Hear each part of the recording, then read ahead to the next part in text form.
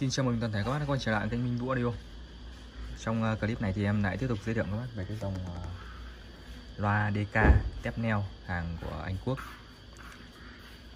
Đây cặp loa nhân tiện đây uh, quay luôn cho các bác xem. Cặp loa này uh, em quay cho anh Hải nhé. Anh Hải có địa chỉ tại uh, 1979 12 trên 22A đường uh, Huỳnh Tấn Phát thị trấn Nhà Bè thành phố Hồ Chí Minh. Đây cặp loa DK Bass 25 tiếp neo. Nó còn à, rất là mới nói chung còn rất là đẹp.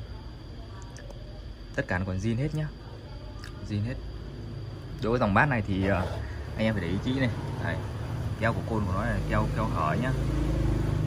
Nhiều người không biết là nhìn vào đây lại bỏ là cái loa nó nằm lại rồi. Dòng này keo hở. Đấy. bát rất là đẹp nha bát đẹp như mới luôn phần tần này nhìn rất là gấu bát 25 nhưng phân tần rất là gấu luôn đấy một, như dòng này làm rất là nhiều cuộn cảm đồng 1 2 3 4 cuộn cảm 2 4 5 trở kháng tụ chi chi chít rồi đây ta nhìn đẹp, đẹp chưa em ngại tháo ra quá. Nên thì quay như này. Tép rất là mới nha. Đấy tép neo này. Đấy. những bác đã từng mua hàng của em rồi thì không phải lăn tăn suy nghĩ. Hàng quảng cáo như nào y xì như thế thôi.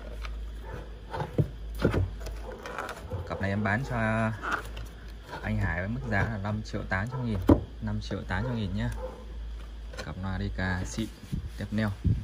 Những cái xước sát như này tí này em sẽ khắc phục cho anh, em sẽ tuốt tát lại cho anh. Đẹp như mới. Hiện tại thì à, đây, em vẫn còn cặp DK 2 bát 25 dòng này cũng chất này, kia có kia còn cặp nữa. Đây, cặp này 2325 và một tép.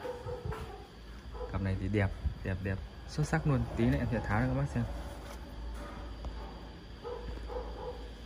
Rồi, clip này thì à, em cũng xin ngắn gọn tại đây thôi đang tháo và vệ sinh ờ, cặp loa cho anh Hải. À, lát đã xong xuôi rồi em sẽ tiếp tục giới thiệu các bác về cái cặp loa hai bát hai năm này. Này tuyệt vời.